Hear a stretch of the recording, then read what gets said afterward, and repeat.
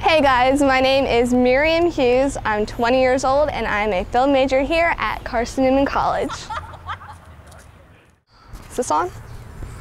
Uh, yes, I did. Okay, well, this is Carson Newman. Okay, so this is the Carson Newman Library where the communication and film majors spend most of their time and that's what I'm going to show you. This is the fourth floor of the library, aka the Media Center, where we have our Carson Newman Television Studio. This is our control room here where all of the television stuff happens. So this is the studio. As you can see right now we have it kind of set up for a classroom because we do have some classes in here. So this is our big set, our really not so big set. And across the hall are the editing bays, which is what I'm going to show you next. So this is where most of us spend all of our time editing and doing whatnot. I guess it all started off when I wanted to go to college. No, no, no, I'll start in high school. Just a real quick overview.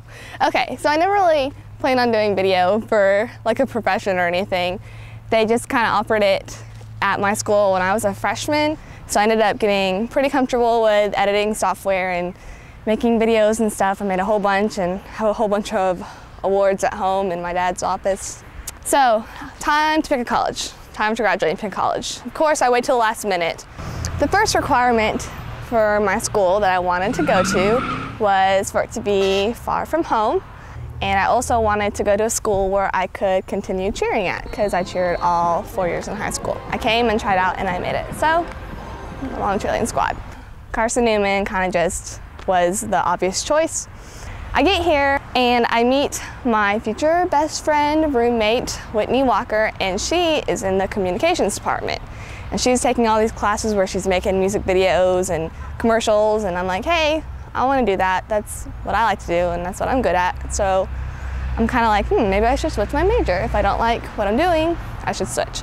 So I go talk to some people, and surprise, Carson Newman just announces that they have just made film a major. Ding, ding, ding, perfect for me. So I decided to switch to film.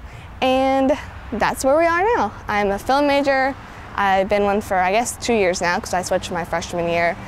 And um, I love it. So that's kind of my story.